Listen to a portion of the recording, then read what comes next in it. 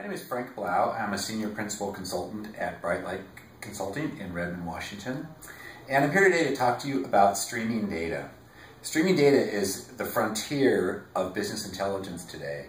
And one of the reasons for this is that there's a need to provide data at a much lower latency than we've been traditionally supplying through static data.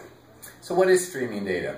If you think of the standard world of data, data sits in databases. We load data in databases, maybe extract things out of that database and transform it into another database. But essentially, we're still looking at data at rest.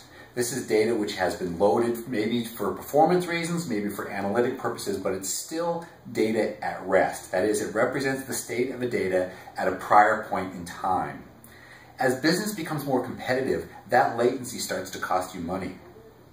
So what streaming data says is, instead of looking at the data at rest, either at target or maybe at source for operational reasons, we're going to look at the data as it moves between systems. Maybe we're talking about things like maybe hospital data, where you have some bedside um, devices collecting data. And to look at that data on a daily basis to determine how a patient is doing, you can understand pretty quickly how that's not fast enough to react in a life-saving way if something happens particularly if that life-saving thing is being detected through a combination of data sources. Say, maybe if your blood pressure is below a certain amount or your pulse goes over a certain amount, and those two things together indicate a condition. Looking at that data at rest after the fact wouldn't help you at all. So what streaming data says is, let's develop the technology and the means to look at data as it's moving across the wire.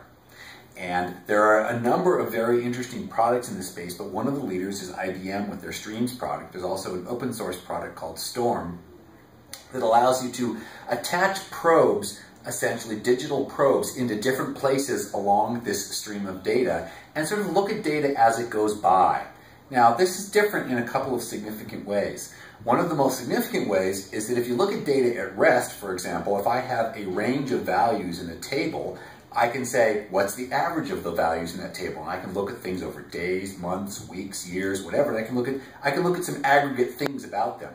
If I'm looking at data in a stream, you don't have the same concept. It doesn't really, it never really ends. It just keeps continuing on. So we have a concept in streaming data of what we call windowing. So we're looking at data as it moves across like this. Or maybe we're looking at data, one chunk of data here, and then we, when that's done, we look at the next chunk of data. These are two different kinds of window, what we call windowing schemes. Looking at data this way allows you to maybe take some of the data out of that stream and move it into a data at rest, or maybe just react to it. And the tools for doing this have matured considerably in the last couple years, and the, the visualization of the process by which I'm taking a source and looking at it as it flows across, moving it around, um, they've really matured to the point where you can get some really very fast prototyping and some very quick return on your investment in streaming data technology. So this is the basis of streaming data, and there are a lot of very sophisticated things being done with it in the industry right now, particularly in both medical, um, uh, in, in the uh, net, in uh, power the power transmission industry. These are all industries that rely very much on data in real-time modes, and they're all taking advantage of some pretty interesting things around the world of streaming data.